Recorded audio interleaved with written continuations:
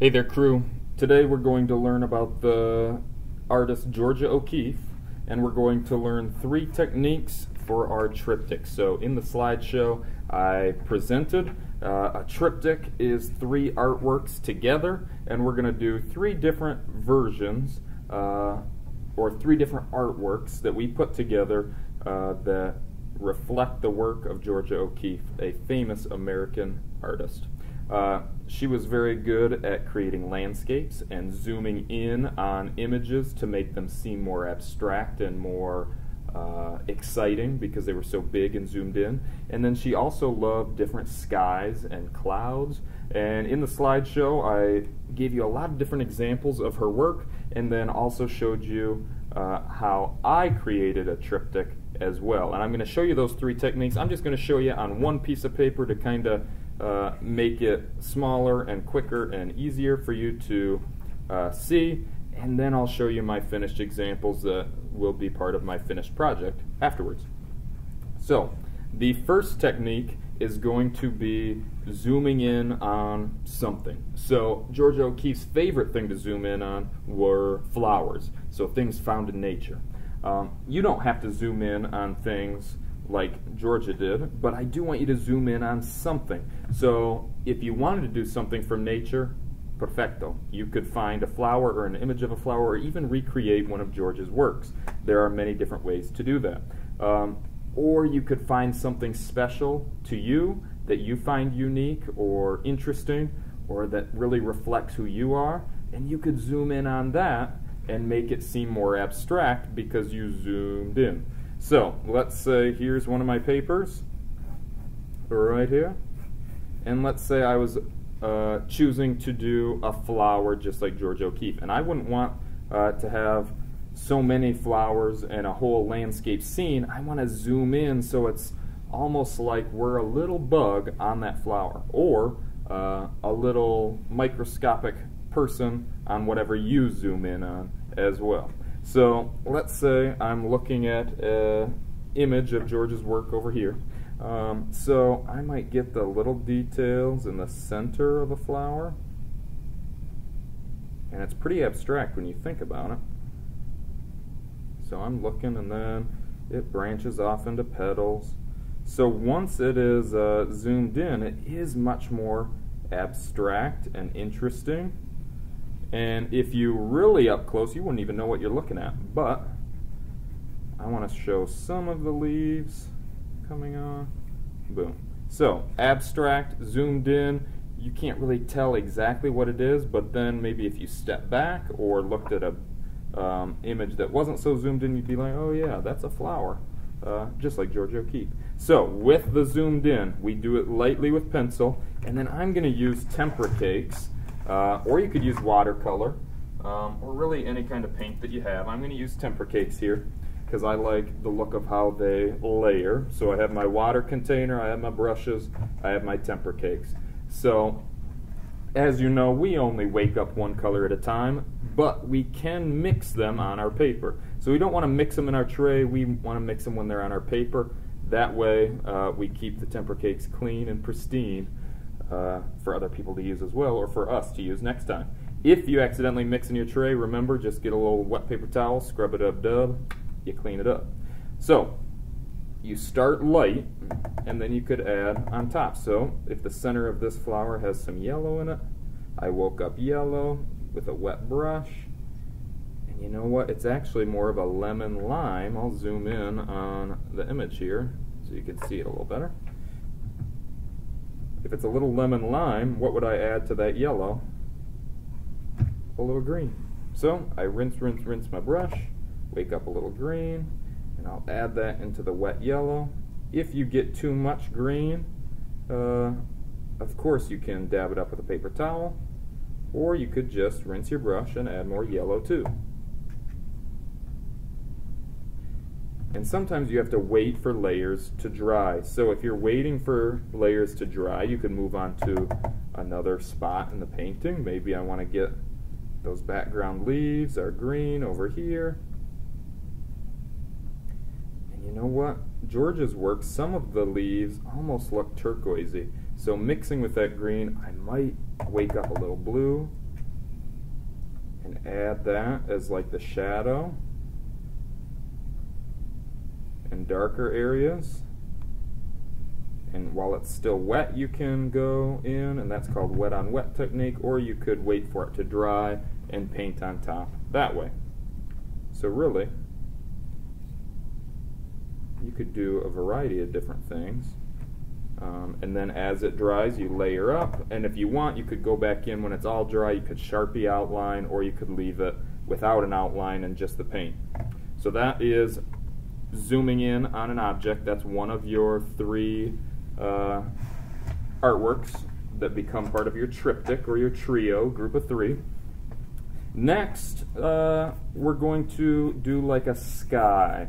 So a sky with clouds, one of Georgia's favorite things, and something I saw at the um, Museum of Modern Art was one of Georgia's huge sky above clouds paintings. So cool. So I'm going to use uh, some liquid tempera. You could use acrylics or again, use whatever materials you have. Um, it would be cool with any material that you could blend and mix. I'm going to use this paint because I like how that mixes as well. So I might get the base layer, and you probably wonder why do I have a reddish pink in there? Well, you could make your sky a sunset or sunrise, or it could be pitch black dark um, with a moon, or it could be middle of the day with the sun it's up to you. All right, it's your sky um, and your clouds and your colors. You could also be completely abstract and whack and not use normal colors that are in the sky. Um, it's up to you. It could also be space. We're just focusing on big zoomed in sky, some clouds. Um, it's up to you. Maybe some shooting stars or planets are in the background. It's up to you. I'm going to mix a little white with my turquoise. Maybe get a little dark blue in there too. So you can add a base layer of the sky. Think about foreground, um, middle ground, background, and kind of the horizon. If you're at the horizon line, um, your colors would be a little lighter because it's like farther away. So I might add more white in there to lighten it up. And then it could get darker as you get toward the background or the or I mean the foreground, excuse me, the sky that's directly over your head is actually closer to you than the sky far away at the horizon line. And maybe I'll blend in a little pink there for some sunset action. Again, I'm going super fast. You would take your time. Then I'm going to, while it's still wet, or you could wait till it's completely dry, up to you. While it's still wet though, I'm going to show you how I could add some clouds just by getting white on my brush, kind of doing tappy tap tap paint.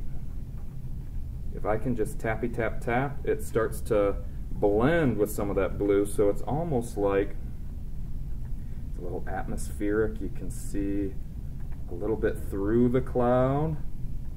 So you see some of the sky shining through. And I want a variety of size and shape in my clouds. I don't want them to all be the exact same.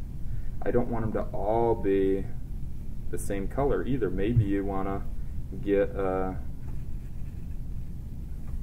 little bit of that sunset in there. Some cotton candy clouds, as I like to call them. Once you get a little pinkish purple going on in the cloud, could be like cotton candy. Or you could be like some of Georgia's cloud paintings, where they're pure white and they almost look like uh, little peanuts or candies floating in the sky. They're not perfect cloud shapes, they're just kind of organic, weird shapes. So, you could kind of do it any way that you want. Again, it doesn't have to be sunset, it could be night, day, you could include sun, stars, moons, planets, you name it. All right? So, one of our triptychs, something zoomed in, one of them, uh, the sky with either clouds or whatever your heart desires. Then, the last one I'm going to show you is pretty interesting. Uh, it's going to be a desert landscape because, as you know from the slideshow, Georgia O'Keeffe spent lots of her time in uh, New Mexico. She also spent time in New York City as well. So if you wanted your landscape to be one of her skyscraper scenes or big city scenes, that would be pretty sweet too. So you could do big city or you could do desert, but either way, it's a landscape. And for the landscape, uh, we are going to sketch it uh, lightly with pencil first. And I'm going to maybe get some mountains there, kind of a plateaued mountain. Some vegetation, maybe some bushes in the front there. Boom. So, again, I want you to look at some images, uh, either photographs or paintings of landscapes, or better yet, you could even look at uh, Georgia O'Keeffe paintings and recreate one that you like. Again, I chose desert. You could do big city. It's up to you. Um, then you will also, if you want, if you're doing a desert, she also liked to include um, like the skulls of animals floating in the sky over her landscapes. So you could um, use a separate piece of paper to collage a skull if you want. So I'm looking at the image of a skull right now and I'm going to lightly uh, sketch it in.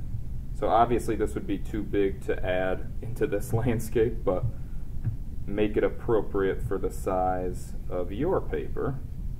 I just want you to be able to see it. So I'm looking at what I'm drawing here.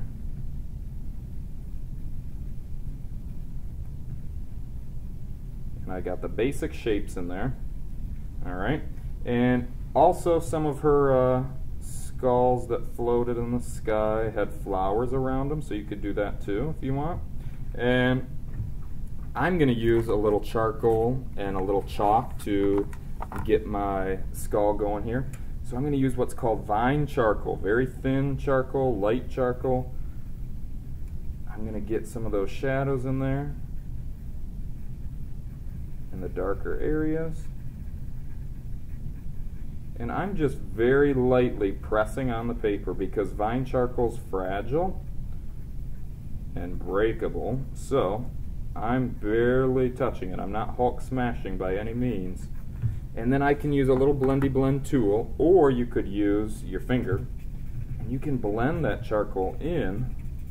And now you see how it's spreading out? It's also getting lighter so if it gets too light add more charcoal if it's too dark you can erase vine charcoal very easily, especially if you didn't press very hard. So again, don't Hulk smash it, because A, you'll break the vine charcoal, B, uh, you'll get too dark and it might not erase that well. So I, I'm going to prove it to you. If you get areas too dark, you can easily erase that vine charcoal. I might get the horns a little lighter.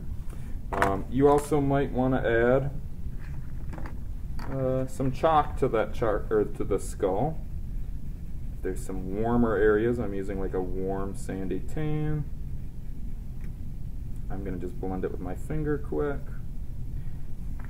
Maybe even a lighter sandy tan in the horns. And then you could also, of course, use bright white for some highlights. And if you got something too light, you could just go back in with that charcoal and darken up the darkest darks. And again, you don't have to use charcoal or uh, chalk. You don't even have to do a skull uh, floating in the sky either. Then, for the landscape, I would love if you used a little chalk so you could do this new technique I'm going to show you. So I have colored chalk. I have some uh, warm and cool colors here and some neutrals. I'm going to just make marks on the paper. I'm not blending the chalk in, I'm just making marks. And I can layer some of those marks, some uh, lighter, some darker. Some warm, some cool. So deserts are mostly warm colors though, so I'm getting some different oranges in the, the ground there, maybe even some red areas, and I've been looking at a Georgia O'Keeffe painting here, so. And then maybe some yellows as well for some of the desert sand. And I'll get some of that vegetation down there. Then the sky, the sky is going to be darker again at the fore, or the yes, the foreground directly over your head, and then in the horizon toward the background, it's going to get lighter. So I'll use a lighter blue. All right. So once you have kind of layered some chalk, I haven't blended it in. I'm going to blend it in with what's called liquid starch. So I have a cup of liquid starch. I use the Purex brand liquid starch like this. Uh, again, if you don't have liquid starch, you could just do a chalk drawing or like a watercolor painting, but if you have these materials, I would love if you did this little experiment. So, you're still going to blend with your finger, but you're going to just dip your finger in liquid starch first. The liquid starch mixing with the chalk will kind of turn this into an oil painting, and that's what Georgia O'Keeffe was famous for. So, it'll look like it's an oil painting, but in fact you use chalk and liquid starch, and you know that chalk can be dusty sometimes. If you use liquid starch over chalk, though, it fixes the chalk to the paper, so you will not have a dust storm or a big mess once it's dry. It'll just be wet for a little bit, but then it'll dry right up and be ready to rock and roll. So I've dipped my finger in the liquid starch. I'm going to start blending here in the warm colors. And also, once it's dry, you could go back in and add more details uh, on top, but not when it's wet. So it's kind of blending. I'll get the, the green mountain here. That's looking pretty sweet. I'll blend some of that green into the orange so it's a nice smooth transition. Now I'll get the sky going. So even in that empty white space where I didn't layer chalk, it's blending and it's lighter at the horizon line, darker in the foreground, bolder in the foreground there in the sky. Gets lighter down toward the horizon. So right now it's wet and needs to dry, but that chalk, it doesn't look like chalk anymore. It looks like a smooth, shiny oil painting. Pretty cool. And then once it's all dry, I could cut out my skull here um, and collage it or glue it on top of the landscape. And actually, in my final copy of one that I'm going to show you, I have it popping out so it looks like the skull is coming out of the landscape three dimensionally. So, pretty cool. But there are three different artworks that you're going to create to create a triptych. So, a trio, a group of three artworks side by side by side, is a triptych. So, Georgia O'Keeffe liked to zoom in on different objects. You can pick something to zoom in on. She loved the sky and clouds, and you're going to work on that as well, any time of day or night. Then she also loved landscapes of the desert, skulls floating in the landscapes, pretty abstract and surreal, but you could also do a city landscape, uh, like a cityscape, or any kind of landscape you want. But if you want to try the chalk and liquid starch, ooh, I suggest it. What a cool experiment that is. So, I'm going to show you some of the finished uh, examples here. So, here's a zoomed in flower uh, painting that I did with tempera cakes. I did it light with pencil first. I layered, layered, layered. Zoomed in. I chose flowers like Georgia O'Keeffe. I actually looked at Georgia O'Keeffe paintings when I did this because that's who's been inspiring me. But you could zoom in on whatever you want. Then I did a cloud painting, and I again chose a little sunset because I like the cotton candy clouds there. So I mixed the paint while it was still wet. I added the clouds, and look at the texture you can achieve when the colors are still mixing when it's wet on wet. Pretty cool, if I do say so myself. And I did get a little abstract and surreal. Uh, like Georgia O'Keeffe, I have some clouds turned different ways uh, and different sizes, and that variety creates some rhythm as well. They're all clouds, but some different sizes, different uh, colors. That creates rhythm, principle of design. Love it. And then last but not least, here's a desert scene from New Mexico. And man, I love the layering and blending that I was able to achieve with that liquid starch over the chalk. And then, as I told you, my uh, skull and flowers are popping off. You can see the shadows underneath because it's coming forward at you three dimensionally. It's easier to see in real life than on the screen, but it's coming towards you. It's adding a three dimensional element to a two dimensional painting of a landscape. And then once they're all together, like on the slideshow, it creates a trio or a triptych. So you're learning new vocabulary. You're combining uh, some science with your art, and you're learning a little uh, social studies and art history as well about the artist Georgia O'Keeffe, who is actually from the United States as well. So pause, rewind, uh, look at the slideshow again, listen to the story about Georgia, and I hope you enjoyed these techniques as you make a triptych. Adiós amigos.